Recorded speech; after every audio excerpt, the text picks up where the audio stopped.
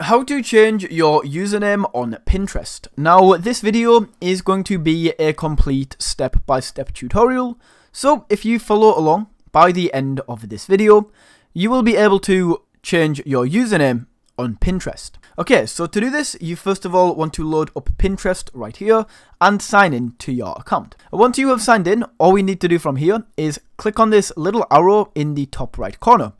And then from this drop down menu right here, click into settings. That is going to take you over to this screen. So all you need to do is simply go down here to username and basically change this to whatever you want. So if I just go finance, whoopsie, finance strike like that and hit save, you can see that, fantastic. uh, let's try finance strike one. And there we go, that is now saved. As you can see, that is how you can change your username on Pinterest.